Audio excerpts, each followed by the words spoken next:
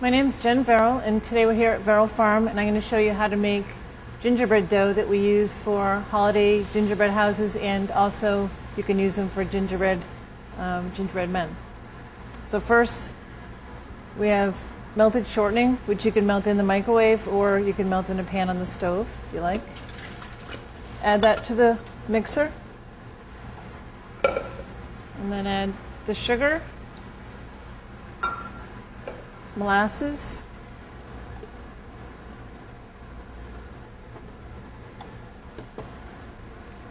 and then you can add the eggs and just mix that until it's incorporated a little bit.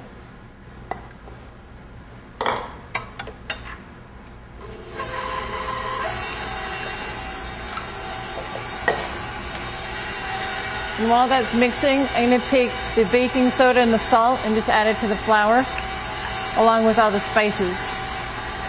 ginger, cloves, nutmeg, and cinnamon.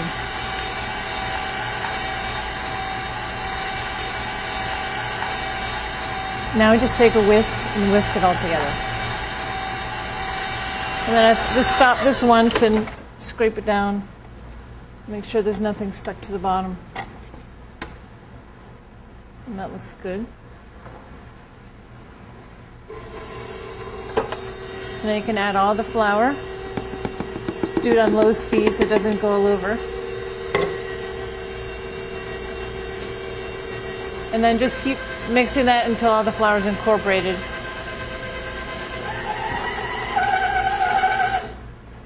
That's good. So it's all, all incorporated together. So now I'm going to just put it in the plastic and, um, and wrap it up. So you can just flatten it down in your plastic.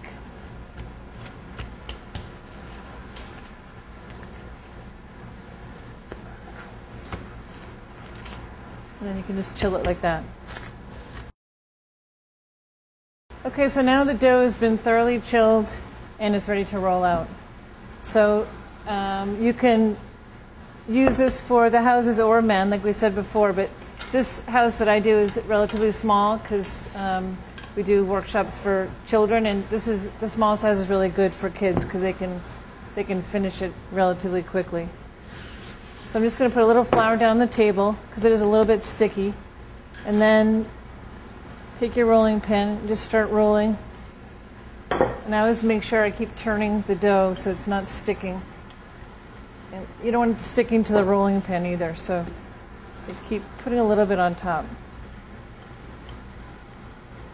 It's a good workout. So just keep turning it and rolling it. I'm going to roll it about a quarter of an inch thick. You don't want it to do too thin because then the house can the pieces can break more easily. So I think that looks good. So you have, this is a roof, the sides and the end. So you need two of each shape. You see what it looks like? That looks good. Just put it down here. And if your dough gets too warm, sometimes the pieces don't, they can be kind of wavy and not straight on the sides, and then you have a problem putting them together.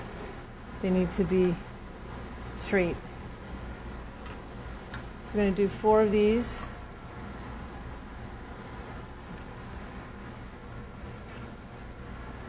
And then we do four of the roof. And I try to go as close together as you can so you don't waste the dough.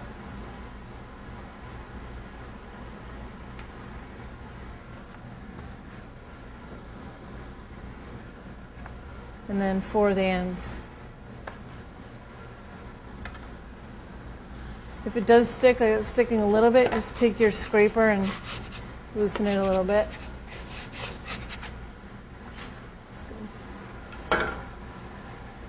And we need this one.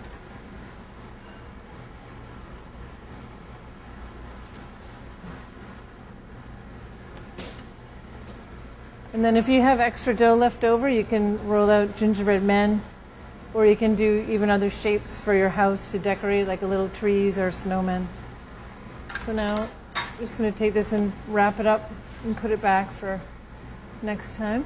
Now it's all set to bake in, I would bake it at 325 for about 12 to 14 minutes.